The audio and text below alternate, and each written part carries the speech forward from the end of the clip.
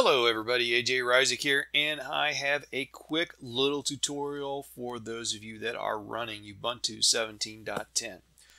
Now, Ubuntu 17.10 ships with the Wayland display server set up by default. Now, overall, I found Wayland to be a great performer, both uh, on my laptop and on my desktop. However, there has been two drawbacks to Wayland. First, most screen recorders don't work on Wayland. Uh, exceptions are the built-in screen recorder for the GNOME desktop and the Green Recorder, both of which I found lacking in features and, and really they just were not good performers. The second thing has to do with applications that require root privileges to function, such as Synaptic Package Manager and gparted. Now these applications simply won't launch.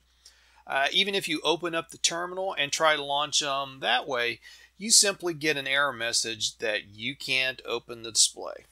However, there is a relatively easy fix. Simply open a terminal and enter the command xhost si local user root. I'll leave this down below in the video description. And uh, after you enter that, uh, press, press the enter button. And uh, for the rest of your session, you will be able to run those root applications.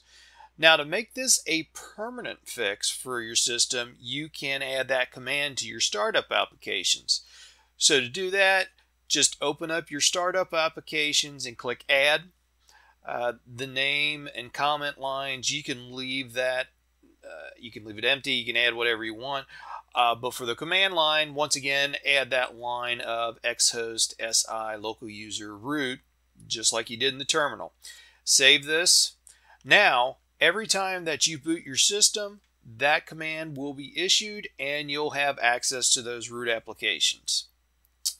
And that pretty much finishes up this video. Like I said, very quick and easy tutorial. Uh, hopefully this helps out uh, those of you that are, were wondering how to fix this problem. I've had a few people that have contacted me asking, how, you know, how do you do this in Wayland?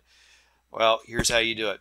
So, uh, as always, thanks for watching, and I hope to see you all on my next video.